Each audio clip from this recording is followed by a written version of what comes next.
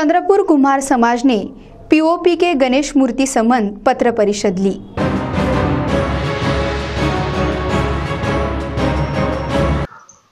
कुमार समाज मंडल ने एक पत्र परिषद लेकर कहा कि अभी कुछ दिनों पहले चंद्रपुर महानगर पालिका ने पीओपी मूर्तियों के संबंध में जन जागृति करने का आश्वासन दिया था।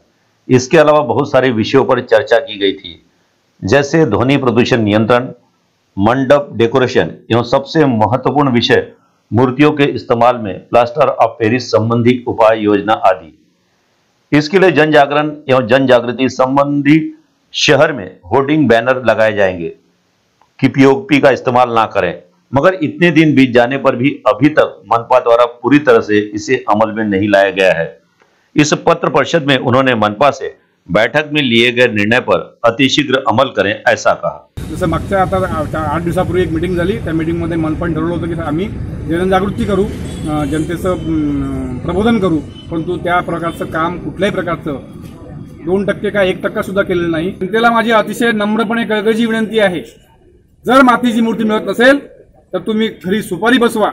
परंतु फक्त मातीची मूर्ती विकत घ्या कष्टपाईची मूर्ती विकत घेऊ नका असं माझी जनतेला तुमच्या माध्यमातून कळकळीची विनंती आहे नम्र विनंती आहे. इस पत्र परिषद में कुम्हार समाज मंडल के सुभाष टेटवार एडवोकेट हरीश मंचलवार, गोपीचंद ठाकरे, भारत मुक्ति मोर्चा के डॉक्टर अभिलाषा गावतुरे, शाहिदा वाकड़े, नंदू बोरसरे आदि मौजूद थे।